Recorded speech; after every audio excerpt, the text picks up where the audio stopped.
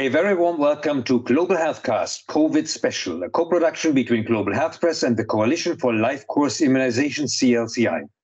This podcast was made possible through an unrestricted grant from Novavax. Our six specials will cover epidemiology and surveillance, long COVID, vaccines and vaccination, and COVID in children. I am Joe Schmitt, and with me throughout the six specials is Professor Catherine Weil Olivier. Hello, Catherine. Hello, both of you. Our topic today is COVID 19 experience in children, and it is our great pleasure and honor that for this topic, we have with us as an expert Professor Federico Martinon Torres. Hello, Professor Martinon Torres. Hello, nice to be here with you both. Professor Martinon Torres is currently consultant in pediatrics and head of translational pediatrics and infectious diseases at the Hospital Clínico Universitario de Santiago in Spain. He completed his medical training at the Hope Children's Hospital of Chicago and also at the Children's Memorial Hospital of Chicago. He has been granted more than 25 prizes and awards for academic achievements, and he has published more than 300 scientific articles. He is directing or involved in 25 ongoing international and multi-center clinical trials and research projects, and he is a collaborator with WHO Europe. Today, we will ask him on experience with COVID in children, and I am allowed to ask the first question. Professor Martinon Torres, how important is COVID 19 in children as compared to adults? And the main question certainly is has it been exaggerated?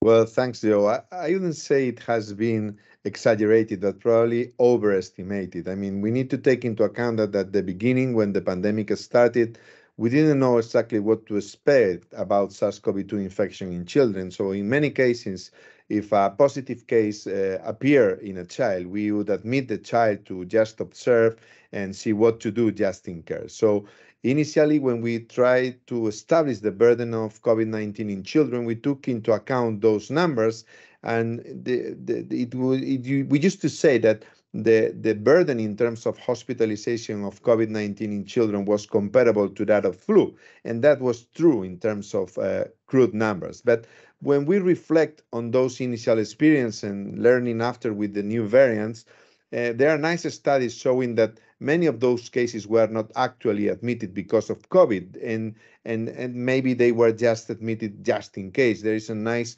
study from Fixmont showing that Eh, analyzing all the children hospitalized due to COVID. And in almost 60% of these patients, the finding of SARS CoV 2 was just incidental. And in only 10% of these patients, SARS CoV 2 was the actual cause for the admission. So I'm not telling that there is no burden, but indeed it's not as important as we initially could imagine. And of course, is less important than the burden uh, COVID 19 has in the adult population or in any patient with high risk uh, factors.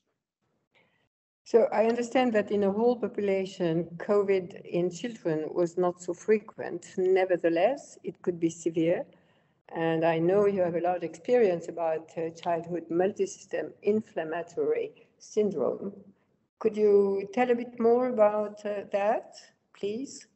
Yes, indeed, uh, Catherine. I think that the, the we were all really scared when the first cases of MIS-C as it is called, or at, at that moment was called Kawasaki-like or PIMS or many other acronyms to describe uh, severe cases of uh, multisystemic inflammation in children near after or a few weeks after the initial exposure to SARS-CoV-2, not necessarily severe SARS-CoV-2, but uh, cases that resemble uh, the Kawasaki syndrome, but with more severe cardiovascular and uh, involvement, no? and with a significant mortality reaching up to four percent mortality in the initial in the initial uh, uh, uh report. So indeed, uh, MIS-C, this childhood multisystemic inflammatory syndrome, made us feel fear as pediatricians for the first time regarding COVID-19 in in our uh, caring population.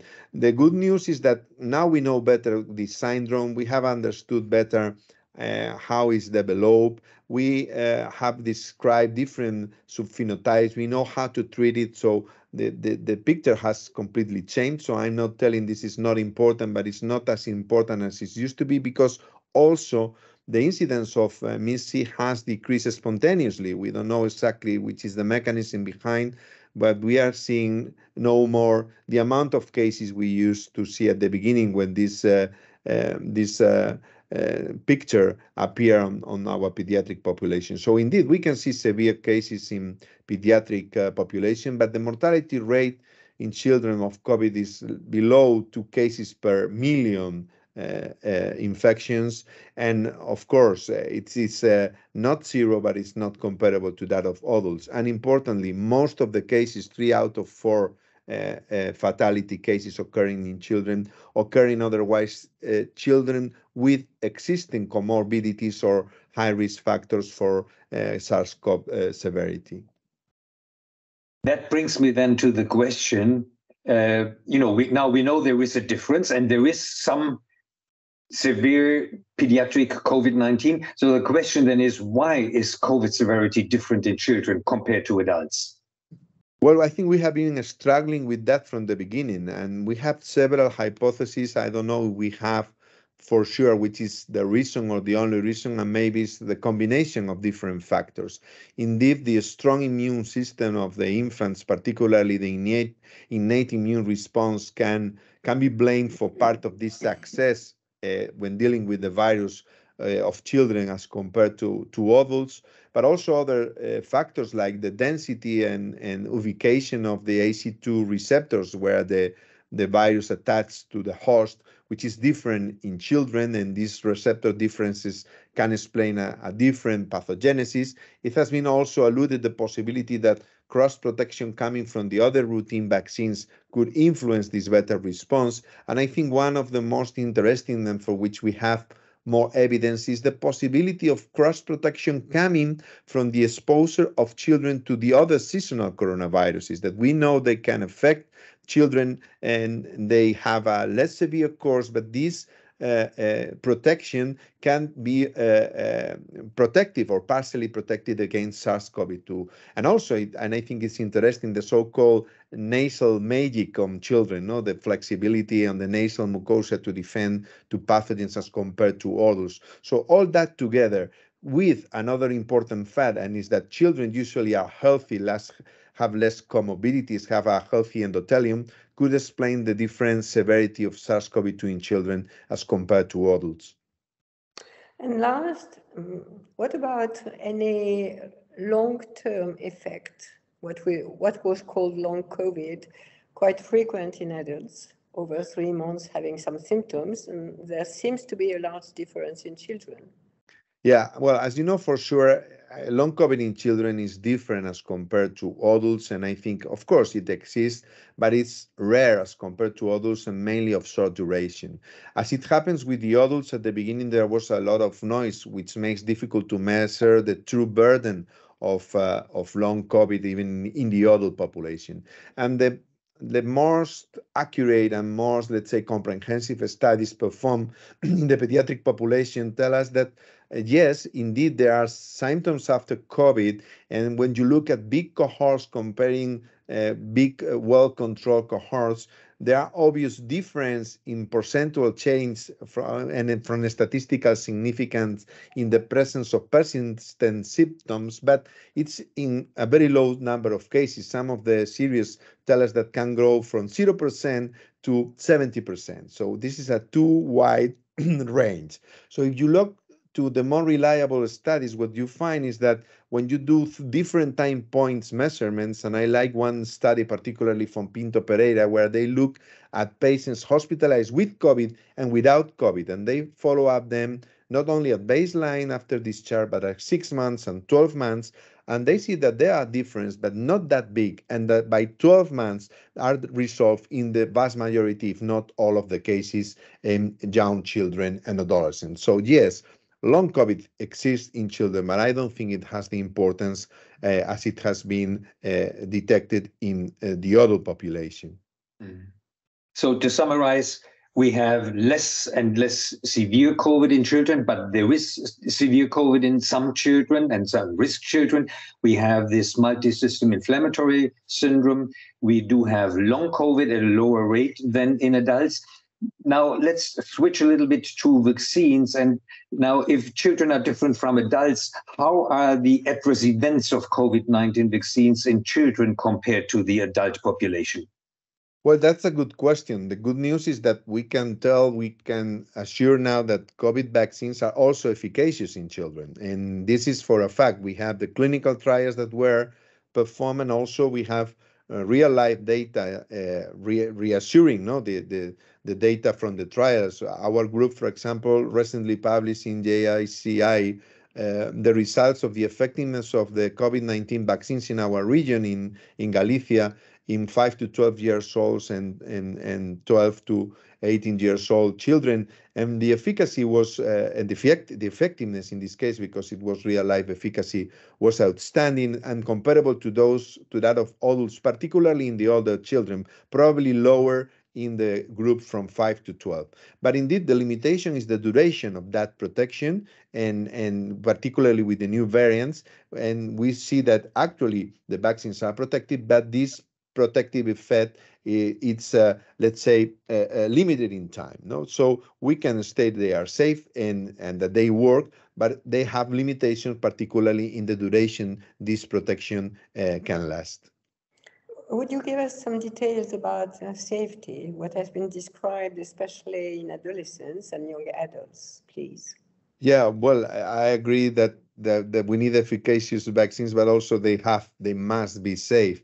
And a lot of sayings and noise have been performed mm-hmm. around uh, safety of COVID vaccines in general and particularly in the pediatric population. I think we can be also certain that COVID-19 vaccines, the available COVID-19 vaccines are safe in children also.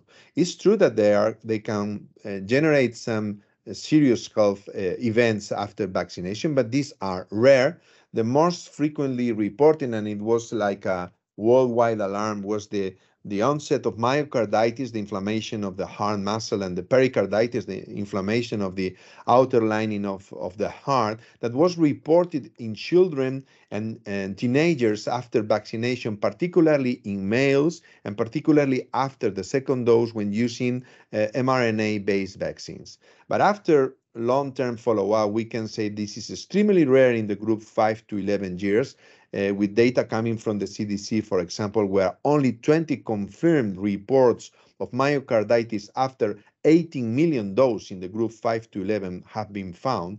And if we look at the global picture, we could expect around 70 cases per million doses in males from 12 to 15 years of age. So yes, like any vaccine, what we can expect is the usual reactogenicity and some rare events of serious adverse events that also can be further uh, reduced when you uh, increase the interval between doses. So I think that we can state that these vaccines are also safe in children.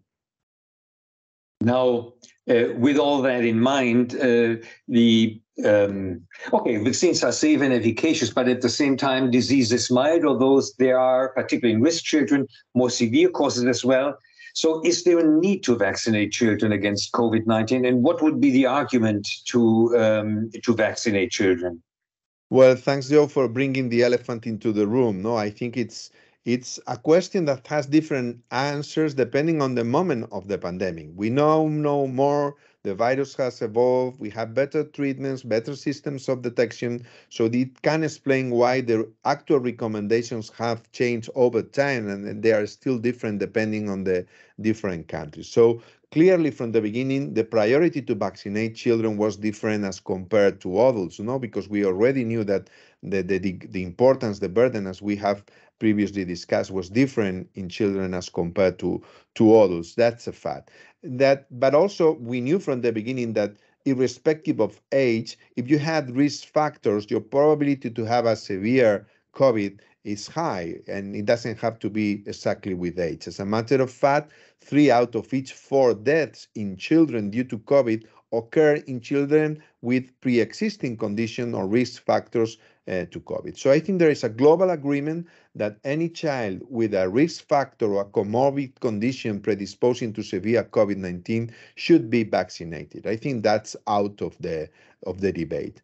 Another story is what to do with the uh, uh, universal vaccination of otherwise healthy children. And then here, I think that for sure we can say that it's safe, as we have already mentioned, that is efficacious, and we need to consider if it is efficient and if it is from a public health perspective a priority as compared to other age groups with regards to COVID-19. But I would add to other vaccines that should be used in the pediatric age population. So I think that it's important to follow whatever the recommendation of the country we are living, that's a fact. But indeed, the vaccination of healthy children is less priority than the vaccination of uh, other uh, uh, age groups and uh, probably less priority uh, than other vaccines that are not yet included in many of the countries that are using or considering using universal COVID-19 pediatric vaccination. So uh, we understand perfectly your position. Could you please detail a bit who is at risk in the children population? Well, as you well know, Catherine, it's less clear than in the adult population, although some of the risk factors that have been well stated for the adult population are similar in the pediatric population, namely type 1 diabetes, cardiac and cardiocirculatory uh, abnormalities, uh, preterm birth, and also most common conditions like asthma, uh, depression, obesity. And I would add to this a very specific one for the pediatric population, which is the uh, chronic pluripathology, you know, children with syndromic or acquire multiple uh, morbidities, uh, adding also uh, neurological impairment that are at a higher risk of COVID-19. So in practice, I would say that we need to cover these groups and probably in any case of doubt, I mean, if I'm not sure uh, about if this patient or this child has or not a condition in the list, I would vaccinate them. So for me, that's clear, and I would say that is a all the supranational regulatory agencies agree on that. Uh, the specificities, the list, and the degree of evidence supporting each of the risk factors may be different to the adult population, so I would be flexible in that regard. Would you say that uh, the risk factors for COVID are similar to the risk factors for influenza and have well, a similar list country by country? Yeah, I think that's a, a, a, very practical way of looking at that. No, I think that we have seen that in general, influenza, RSV, and and and COVID-19 in the adult population attack the same uh, the same uh, vulnerable uh, targets. No, so I think that it's a good practical rule, and I agree with you, uh, uh, and I think it's it's a good advice. I, I have a challenge for you. Um, so my uh, grandson is now six months. I guess should he be vaccinated before going to kindercare, to, to kindergarten, to crash, to, to an institution with the goal to protect people working there? Okay, that's a, a good question, Joe. so from uh, we should differentiate what's the official recommendation and what's my personal view, and we should differentiate also what's the individual perspective and the public health perspective. So for sure, if you vaccinate your grandchild, from an individual perspective, is safe, is efficacious, and you are uh, avoiding him, even if it is a low risk, that risk of a severe uh, COVID-19. So that's a fact. Uh, from a public health perspective, should we keep vaccinating universally children, healthy children against COVID, then it's another story because other factors come into the discussion. No, the cost that comes from that, the need of repeated booster to sustain that protection, if that is affordable and efficient for the specific uh, country, and again, not to lose the perspective on other priorities in terms of vaccination for that same population. So I think there is no harm in vaccinating children against COVID, but I uh, healthy children, I mean, but I think that is not a priority at this moment with the current Omicron and uh, Omicron subvariants and in the current context. This can change as the virus can evolve, but at this moment, I don't think that's a priority. Very good. I think I have no more questions. I'm looking at Catherine. If you no, are no, satisfied with all you heard.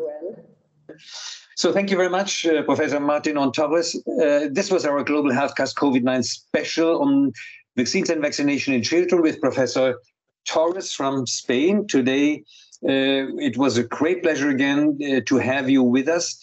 Please like, share, and leave your comments below. Thanks for joining us today. Stay safe and get your vaccines. I am Joe Schmitt. I am Catherine Weil-Olivier. And I'm Federico Martinon. Thanks for inviting me and listening.